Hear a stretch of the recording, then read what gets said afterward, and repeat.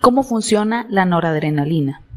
La noradrenalina es un agente simpático mimético con fuerte afinidad hacia los receptores alfa-1 adrenérgicos que se encuentran en el músculo liso de los vasos sanguíneos, provocando vasoconstricción, aumentando de esta forma las resistencias vasculares sistémicas. También existe débil afinidad hacia los receptores beta-1 adrenérgicos encontrados en las células cardíacas, provocando aumento del inotropismo y cronotropismo.